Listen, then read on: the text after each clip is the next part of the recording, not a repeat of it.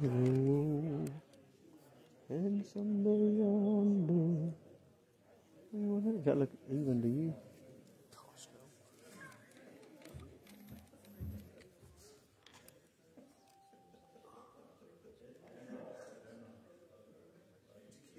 to get it lined up. Can you see me, brother? Them new glasses on? yes, I've got new glasses on. I can see now. I got, I got tickled. You ever seen in your rear view mirror where it says objects in mirror are closer than they appear? You ever seen that sign, that little thing on your car, rear view mirror? I got these glasses yesterday. Of course, you realize how bad your last glasses were when you put your new glasses on, how blind you was. You know, and I was like, whoa. So I'm walking out of there and I'm staggering around like a drunk.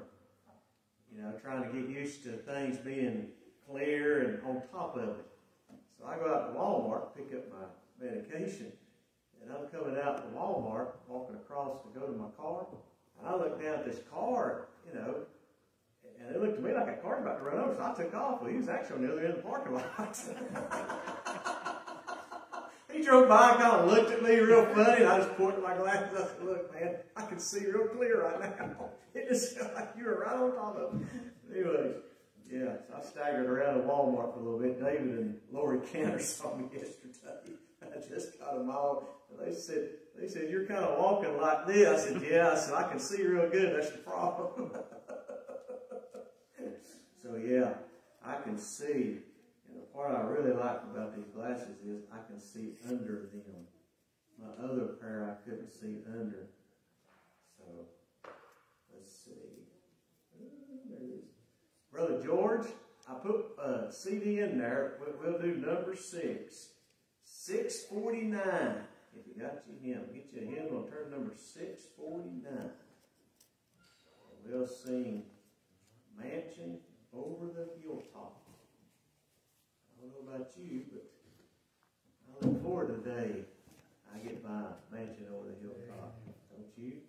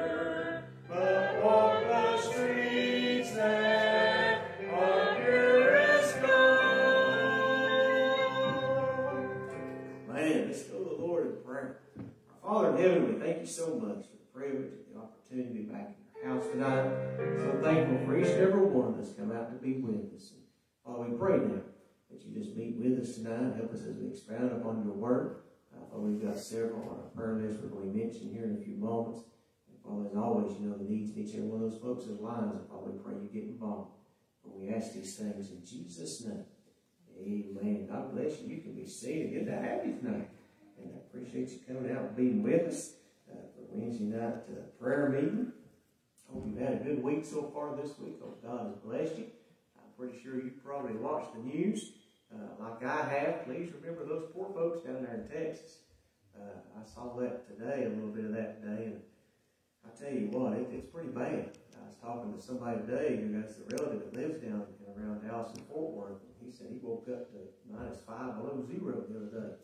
And uh, three degrees, I think, today is what the temperature was uh, for a low. So do remember those folks down there. I mean, people without power.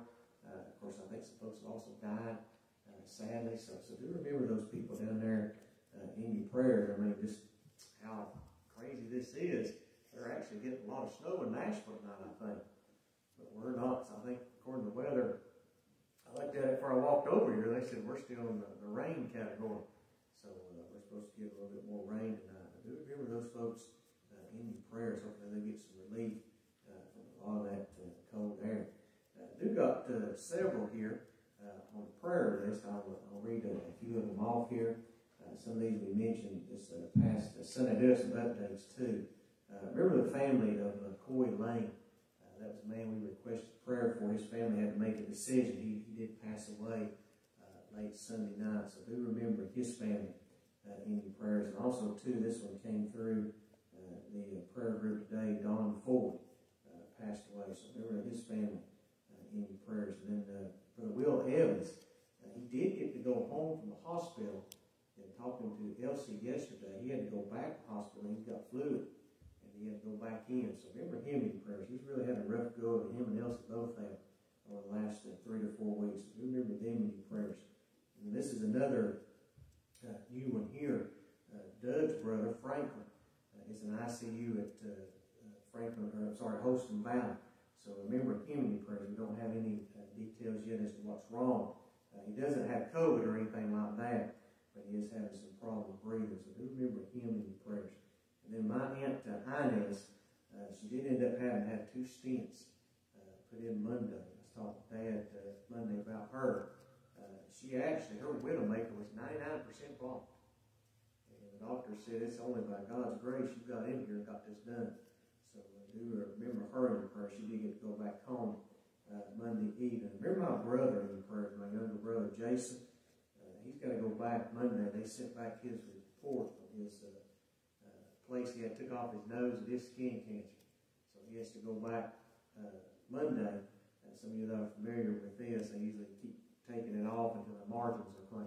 He's got to have that done Monday. So remember him in your prayer. I think it's on his nose.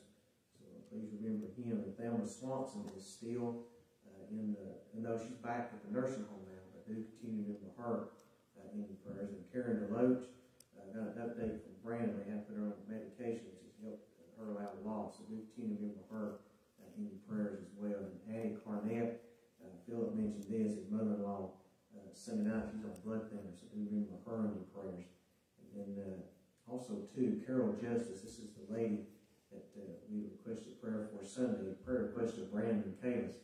Uh, she was afraid she'd lose her foot. I haven't gotten an update back as to whether or not uh, she was able to keep it. So do remember that lady in prayers. And Gene Hartley and Alan Trivet. And then this is one here, uh, Caleb gave me, Christy Carey. Uh, she had failed to cause some brain damage.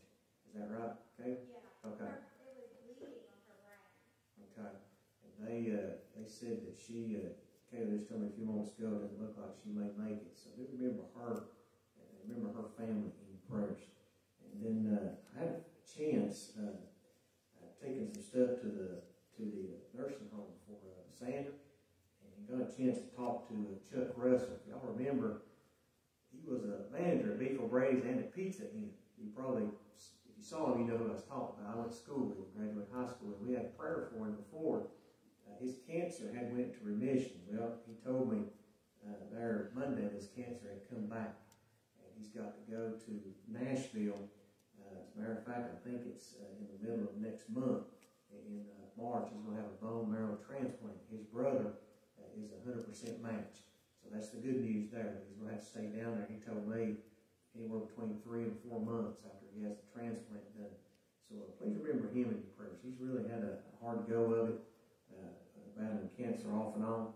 So be praying for him. They feel pretty good about his, uh, the treatment, what they're going to do. Uh, they think they can get his cancer back in remission. So please remember him, uh, Chucky Russell. And then uh, Sister Lois, speaking of, of going down Nashville March, Lois is still on, on track uh, to go down the early part of uh, March for her surgery. So do you remember her, Grady Holder, is uh, supposed to have his knee replacement surgery a week from tomorrow.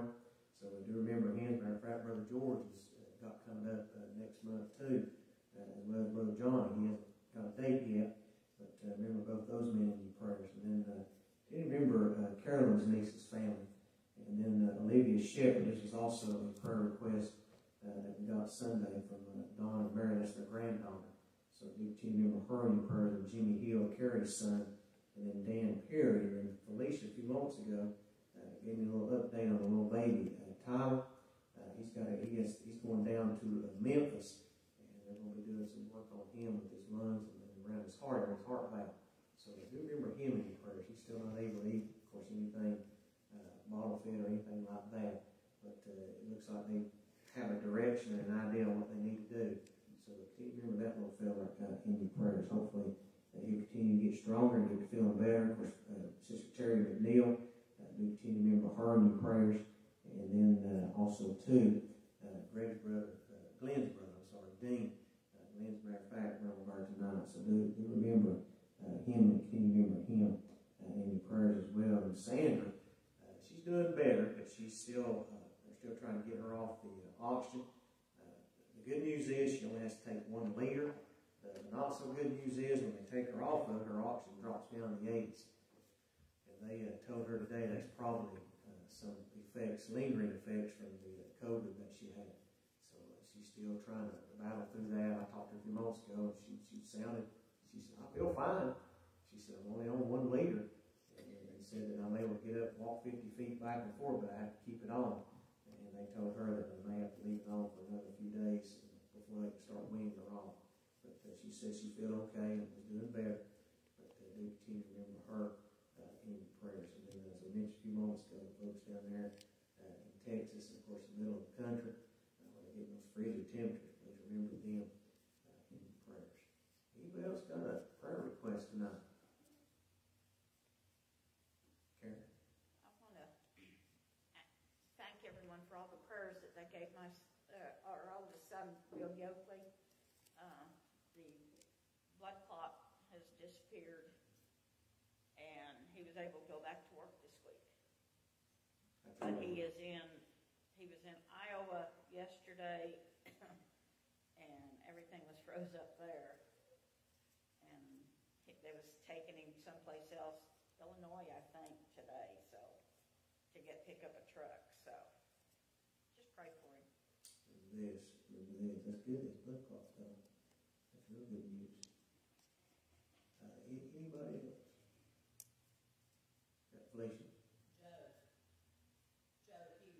Thank you. Yeah, remember uh, Sister Joe, the, the ligaments in her foot has come loose.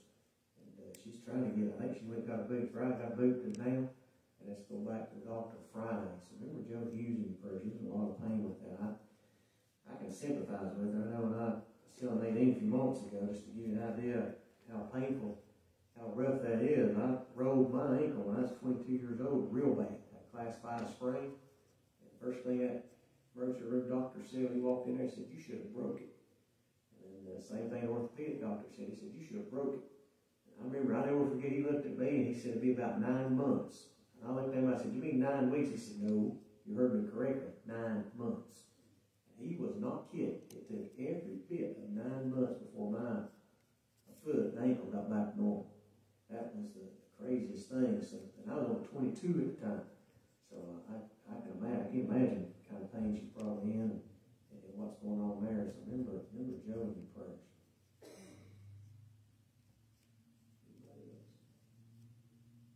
I can see tonight. Y'all look pretty good. There- you go. There you go. It's, uh, they, they was awake tonight. They went. There you go. That- That's your cue. Y'all look pretty good tonight. Even Greg back there. He looks real good. Look good, Greg. Hey, even in that Raiders coat back there. You look good. Even in the Raiders coat. Good to see you tonight. Appreciate you coming out. There you go, smiling. I can see the smiley faces, Wayne. It makes me feel so good. I tell you, he stuck in glasses. I went there yesterday. He stuck his glasses on. He said, "Read these lines right here." I first stuck them on my face, and I stood up, and I was like, "Whoa!" He said, "Yeah." He said, "Give yourself a minute." And I kind of taking a step at a time. Felt like the ground was going to jump up and grab me. But I walked over to that place. He said, "Read these lines here." So I read those lines. He said, "Good. You got 20/20 vision." He said, uh, "Your glasses work." I put my other glasses on to see where they were at. They were at 20/40. so yeah, a little bit of a difference there. yeah, I'd be scared too driving with me on the road. Realize how blind you are when you get something like that done. Let's go back to the Lord in prayer. Our Father in heaven, we thank you so much once again for all you do for us, the blessings you give us each and every day. Uh, Father, as I mentioned a few moments ago, our heart does go out. Uh, I was watching a little bit of the news today about those folks down in Texas. Uh, Father, unfortunately, some people have lost their lives because of frigid temperatures. Uh, we pray for those families down there. And Father, hopefully, for too long, uh, they can get some uh, relief from the cold. Uh, we do continue to pray for all these we mentioned tonight on our prayer list.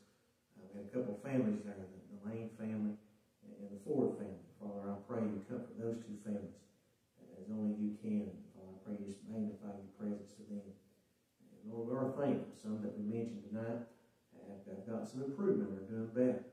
And Father, we thank you for that. A few moments ago, uh, about one that uh, the blood clots were gone. Father, we thank you for intervening on his behalf. Father, we pray for each and every one of these we mentioned tonight and ask you please get involved in their situations and touch their lives. And Father, maybe they'll be able to go home from the hospital and, and maybe get back and maybe service to you in their heart's desire.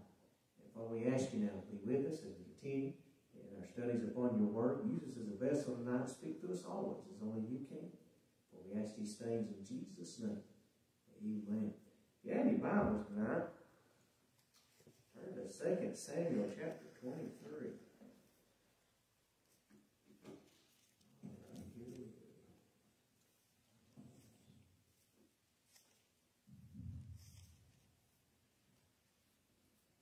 Second Samuel 23.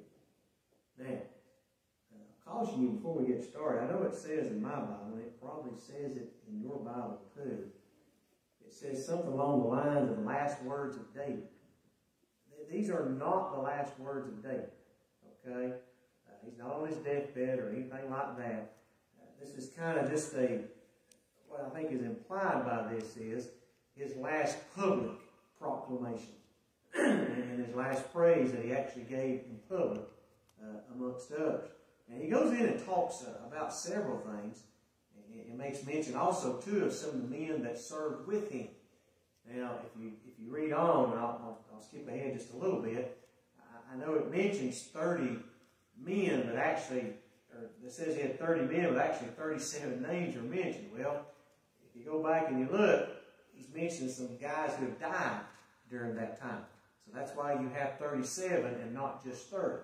In other words, there was you know more guys that were involved. they had lost their lives, but he always seemed to have around 30 uh, that was considered his personal guard.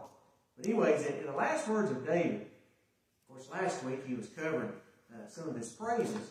It says in verse 1, it says, Now these be the last words of David, David the son of Jesse said, and the man who was raised up on high, the anointed of the God of Jacob, and the sweet psalmist of Israel. Now, they gave him about four introductions there. Uh, first off, he's called the son of Jesse. All right? You, you go back and you look at his family's beginnings. And, you know, Jesse was not somebody known in the kingdom. Uh, as far as we know, he wasn't known to be a warrior or anything like that. As a matter of fact, he's known to be a farmer and a shepherd, basically. And, you know, some of his sons actually were uh, fighting with Saul when David showed up, of course, and slew Goliath. But I think what David, what's being mentioned here is David's humble beginnings. you know, we, we look back at our own lives, and a lot of us have humble beginnings, but I'm going to tell you what, God can do great things with humble beginnings. Amen? And the son of Jesse, I think, exemplifies that from David. And he says, the man who was raised up on high. of course, David, you know, he was a 13 to 14 year old shepherd boy. And by the time he was 30 years old, he was the king of Israel. Uh, you know, amazing how things can change. You know, we look back over our life and what God's done for us. You know, I, I was uh, watching something the other day about a guy that was involved, unfortunately, that was in, in addiction and so forth. And he got his life straightened out. And now he's preaching the gospel and even running organizations. This is somewhere out, ironically, out in Oklahoma uh, and Texas and that area. And he was talking about where he was at and, and how things changed in just a year's time, what the Lord done for him in his life. Now, you know, David, he went from shepherd boy, and then that day Samuel showed up, anointed king of Israel. He was God's anointed king at that moment, the minute he got anointed. But he didn't take the throne, as we know. He took the throne over the nation of Judah when he was about age 23, 24, somewhere in there, but then didn't rule over all Israel till about the age of 30. But anyways, he was God's anointed king. So he was a humble person. The son of Jesse started out with humble beginnings, and then he was raised up on high. Think about you and I. Any child of God has humble beginnings, but praise God, like we sung a few moments ago, you got a mansion on the hilltop to look forward to. You're going to get raised on high one day. As we're fond of saying, our help does not come from the front of us, behind us, left or right, and certainly will not come from below us. Our help comes from up. You know, look up, our redemption draweth nigh. So he had humble beginnings. He was raised up on high. It says next there, the anointed of the God of Jacob. Yes, Samuel anointed David the next king. We, we remember that story from our studies. You know, those sons of Jesse walked in there, and the first one walked in, and he had kind of the physique that, that, that Saul had. You know, he was kind of a tall feller, probably had some broad shoulders, some good-looking arms, and kind of looked the part of the king. And, and, and Samuel got up and said, Surely this is he. God said, Sit down. He said, I don't see as men see. He said, I look upon the heart, and it's not him. You know, and he goes through all those boys of Jesse, and I'm pretty sure some of them look pretty impressive. And Samuel sat there, and Jesse probably scratched his head and thought to himself, you know, this is about the strongest men that I've got in my house. You, what's going on here? And Samuel said, look, you've got to have another one somewhere. He says, we can't leave until you bring the one God wants. So they stayed there, and we don't got David. And David walks in, 13, 14 years old, probably barely five foot tall, if that. Walks in there and ruddy and so forth, and and, and God said, this is what I want you to anoint. I've always wondered how, how everybody's jaw hit the ground when he anointed David. You ever wonder that sometimes? I mean, you've got all these dignitaries of Israel, and, and in and around Bethlehem, you know, with Jesse, and you think about all the people that went down there saying, they're all down there expecting to anoint some strong-looking man, and all of a sudden they, they anoint this kid. That's basically what he was, a kid. And you can imagine the jaws hitting the ground, everybody looking like, are you kidding me? And Samuel says, no, I'm not kidding you. This is God's anointing. Here's the thing tonight. If you're saved tonight and know Jesus Christ as your Savior, you're God's anointed. Do you know that? In Revelation, our Revelation study tomorrow, we're going to talk about them 144,000 that's got God's seal. Guess what? You know who has a seal from God today? The born-again Christian does. Amen. It's mentioned on several occasions in the New Testament about the seal that God seals his own children with to protect you and take care of you. So here David, you know, he goes from humble beginnings, raised up on high to be a king. He receives God's protection as the anointed of God of Jacob. Okay? He has now got God's protection. And let's, let's face it. Saul tried to kill him. The Philistines tried to kill him. He probably had battles and wars. His own son tried to kill him. But yet God still protected him. Look at the next thing here. It is announced. It says, the sweet psalmist of Israel. This is the one thing that separates David from the rest of the kings, even Hezekiah. Okay? Hezekiah, to our knowledge, didn't have any type psalms the way David had. Now, Solomon had some wisdom that he gave out to folks. You find that in the Song of Solomon. But as far as a psalmist goes, David stands apart. You know, David had that unique skill of taking how he felt about the Lord and putting it into words and putting it in the songs. I guess you could call him the first gospel songwriter. I remember a preacher years ago made that comment. If you want to know who the very first gospel songwriter is, I understand the gospel, the Old Testament predates the gospel, but he said, here's the thing. David was your first hymnal writer, if you will. He just had that unique ability to take how he felt in his heart, how he felt in his mind, his feelings, and put those down on paper to be read and to be sung. Now we know that David was also, being a little bit unique from the rest of the kings of Israel, he was also a musician. He played the harp. He was so skilled at playing the harp, as you know, he was brought in to play the harp for Saul to calm the evil spirit. Now he must be a pretty talented player to be able to do that. So you take that into account as well as his ability to write songs, and you've got the entire book of Psalms. Uh, a those Psalms come from David. We just read to you some other Psalms that he'd given in the previous chapter, and you see the talent that David has. And here's the thing. David took the talent God gave him and used it for God's glory. That's what's important it. So if you look at this, a man of humble beginnings, who was raised up on high by the God of heaven, protected as he was anointed of the God of Jacob, and took his talents and used them for God's will. That's the way you could read that introduction. He wanted to do God's will. Nowhere in that introduction does it say that David was perfect. David was about as human as it gets. That's one thing that I have picked up on. I've studied David's story before, but for whatever reason this time, and studying along on Wednesday night, I never realized how really human David really is until you really look at his life. Okay? But nowhere does it say David was perfect. He's very human, but he loved the Lord, and that's what matters. So we see there in verse 2 it says, The Spirit of the Lord spake by me, and his word was in my tongue. David had a relationship with the Lord. And that's what he's trying to tell the nation of Israel. This is a very public proclamation being put out. That's why you have that. He's trying to get the nation of Israel to understand anybody that God takes with humble beginnings, set them on high, He'll give them His protection. He will also, if you'll just use your talents for Him, but here's the thing, have a relationship with Him. Know Him. Know what He expects from you. And the only way you can do that is have a relationship with Him. And that's what David's trying to portray to the nation here. The Spirit of the Lord spake by me, and His word was in my tongue. David said, I tried to relate what God was telling me as best that I can. Once again, doesn't mean that David was perfect. David's just trying to relate what God's word is and trying to tell the nation, this is what the Lord wants you to do.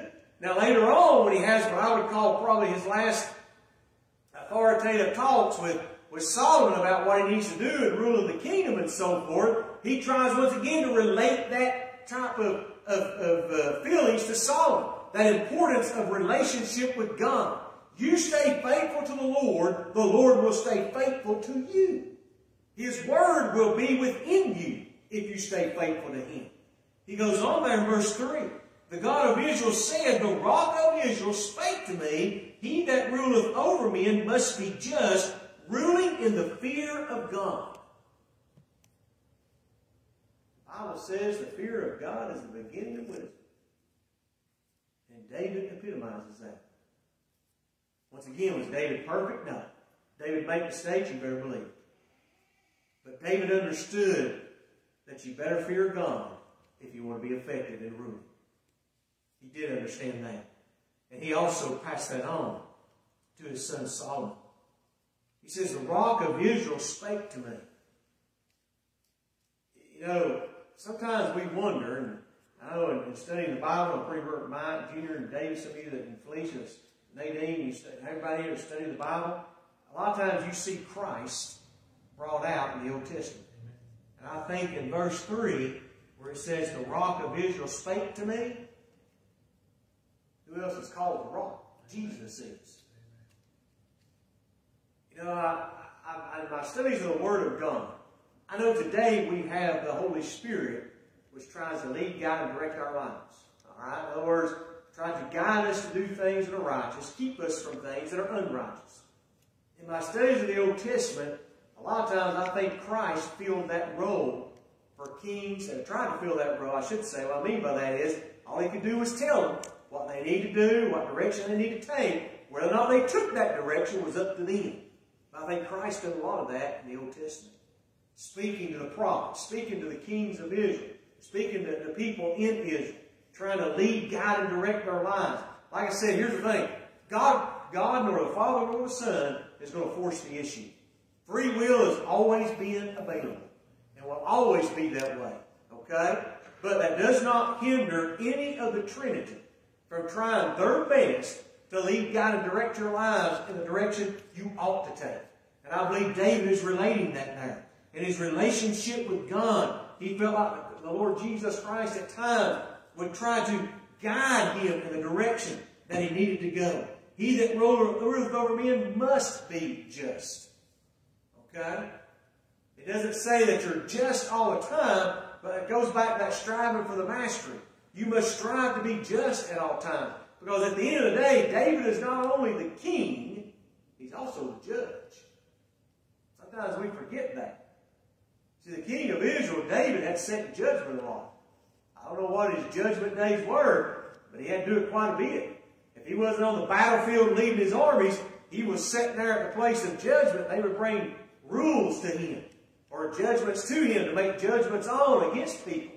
Now, some of the more important or lesser important things would be handled by folks underneath him. But the important things were brought to him. Okay? So you've got to be just, ruling in the fear of God. He says, And he shall be as the light of the morning when the sun riseth, even a morning without clouds, as a tender grass springing out of the earth by clear shining after rain. He shall be as the light of the morning. You know, if you're ruling justly, as best as you can, and you've got the fear of God in your life, the Bible says, He shall be as a light of the morning. That means a lot of God's got to be shining on you, or shining through you. See, people know when the ruling of God is coming from somebody's mouth. You know, a good example of that, of course, is Solomon. If you recall Solomon, they brought that baby in there, that uh, those two moms in there, and that baby, and the one said, no, it's mine. The other said, it's no, it's mine. And Solomon, of course, made that famous ruling. He said, cut the baby in two, give half to one, half to the other. Of course, the real mother jumped up and said, no. Said, you give it to her. I want to see the child live. Solomon said, that's the mom right there. Give her the baby. Okay? And everybody, the Bible says in the verses after that, everybody began to really fear Solomon because he had the judgment of God on him. That is the light. The reason they feared him is because the light of God was shining through him. Okay? You know, used to, uh, as preachers and, and people of the Lord, if you would preach the truth of God's Word, folks would have respect for that. You say, Preacher, why is that not happening today? Because darkness is enveloping. You're living in the last days, friend. Okay? You're in the last days. Darkness is trying its best to take the light out. The only way it's going to take the light out is when Christ takes the light out himself.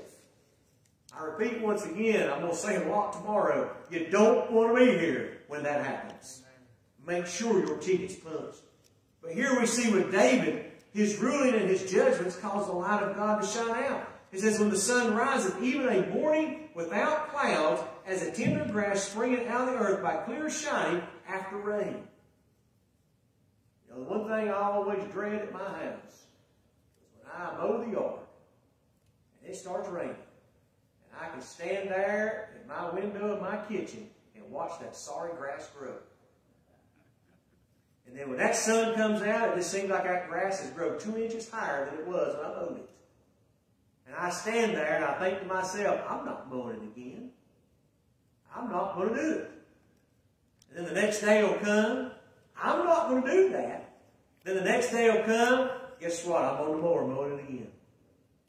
You know? That's what happens when the sun comes out. I mean, you'll sit there and you'll cut that grass and you have the old grass that you cut over top of the new grass and by golly, it'll rain. When that sun comes out, that grass will just shoot right up through that old grass. And there it is back again. And that's the people of the Lord there. When the sun comes out, we grow. Amen. Think about it. When the light shines on your life, you grow. And that's what the nation of Israel was seeing through David. When he was really in tune with the Lord as he should be, and trying to do the will of God, God's light just really shined out of him. And the nation grew because of it. Grew spiritually, that is. Okay? So, he says, even as grass spring of the earth by clear shining after rain. Although my house be not so with God, yet he hath made with me an everlasting covenant. He says, although my house be not so with God, David says, I'm not. I made my share of mistakes. And we've gone over some of those mistakes that David made and the things that really cost him in his life and, and cost him dearly, you know, with his family. But he says on there, Yet he hath made with me an everlasting covenant. Here's one thing you can be assured of tonight. God keeps his word. If you've accepted Jesus Christ as your Savior, then they will keep their word and bring you into heaven one day. Amen. Whether you go in death or whether you go by rapture. It will happen. God keeps his promises. He keeps his promises in this world.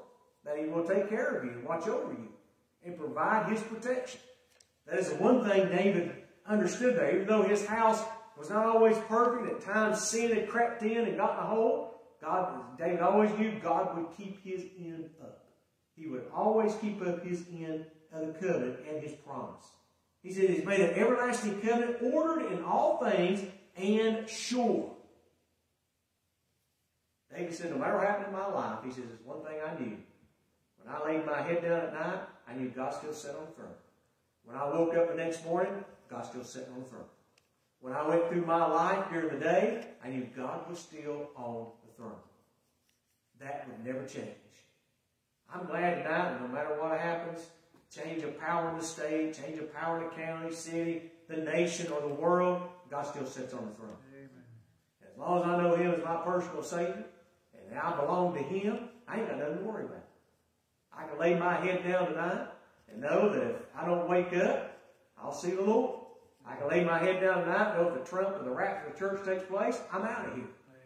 That's what matters, because those things are sure. God has promised those things. And if I do wake up in the morning, I know the Lord's going to be with me. He says he'll never leave nor forsake. He always takes care of his children. David viewed those things were sure. For this is all my salvation. That's right.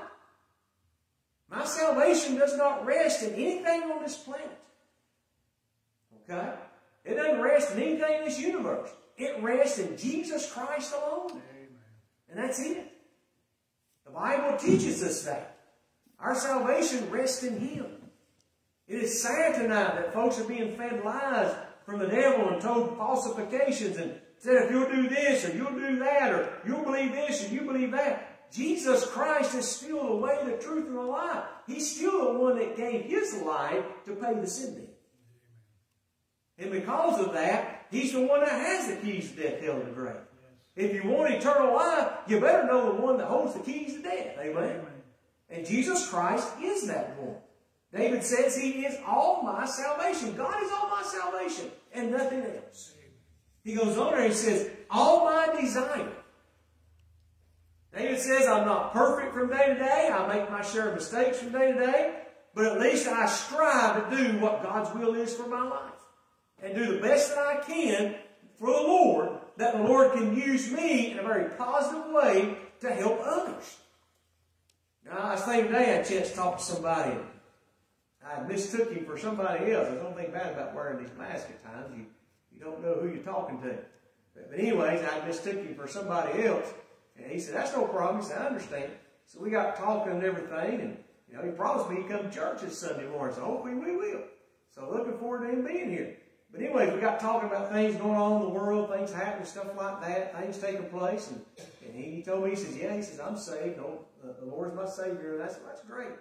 I said, that's the most important thing any man can do today is to make sure he's saved.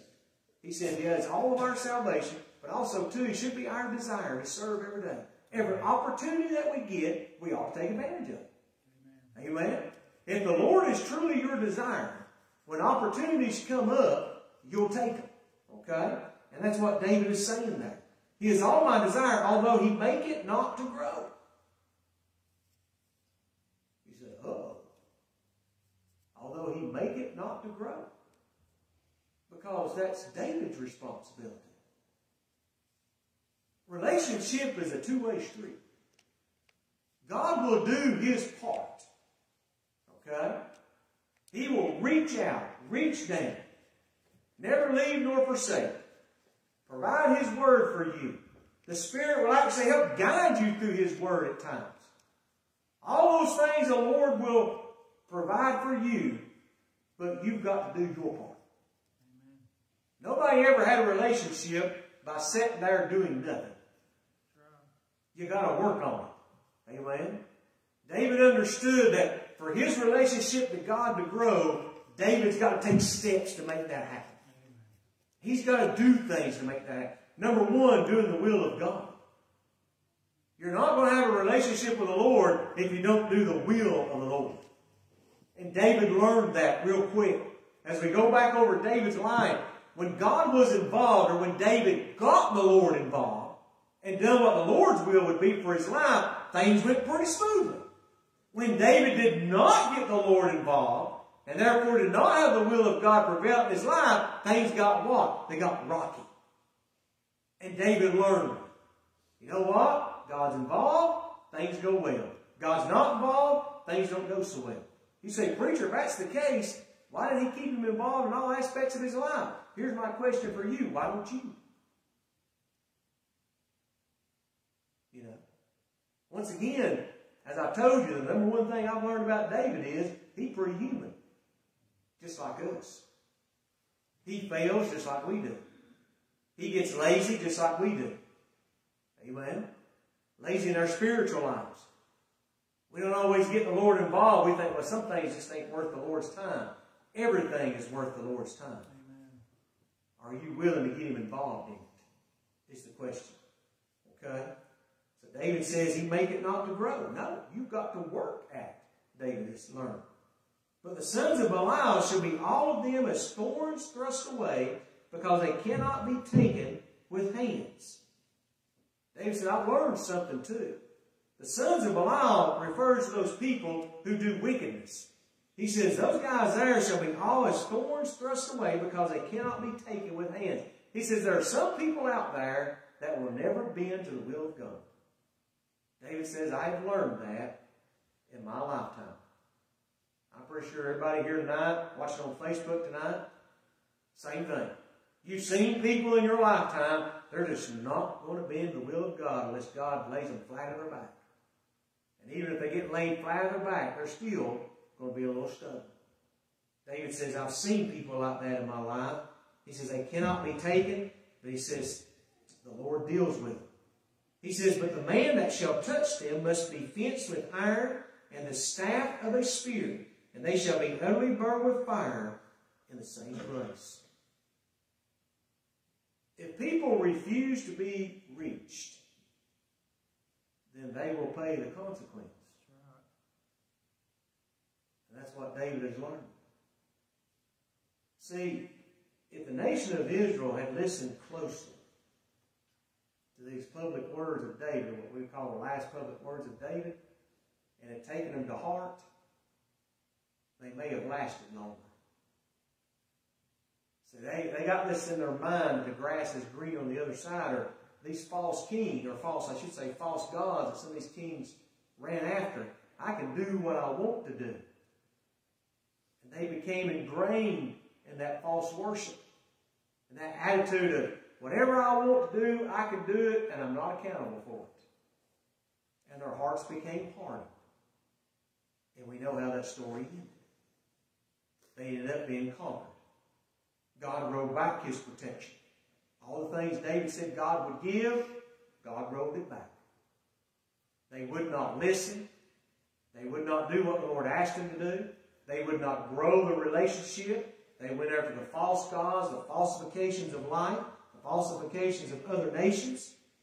And they end up being utterly burned with fire in the same place.